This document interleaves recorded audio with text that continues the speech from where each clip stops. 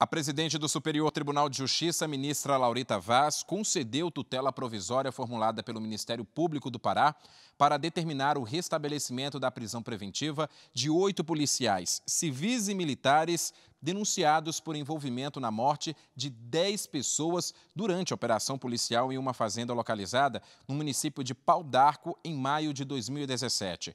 O recurso especial que pediu o restabelecimento da prisão preventiva desses envolvidos foi apresentado no STJ depois da decisão do Tribunal de Justiça do Pará, que concedeu a liberdade ao entender que eles não oferecem risco à ordem pública. Na solicitação de tutela provisória, o MP alegou o receio dos sobreviventes serem procurados e mortos como queima de arquivo. Ao analisar o caso, a ministra Laurita Vaz destacou a gravidade dos crimes em apuração e os indícios de autoria e materialidade para aceitar o pedido do Ministério Público. Para Laurita Vaz, a liberdade desses policiais acarreta a inevitável sensação de incapacidade do Estado de coibir atentados do mesmo tipo. Em sua decisão, a presidente do STJ destacou que a periculosidade dos acusados está evidenciada nos delitos. Com isso, a tutela provisória formulada pelo Ministério Público do Pará foi concedida.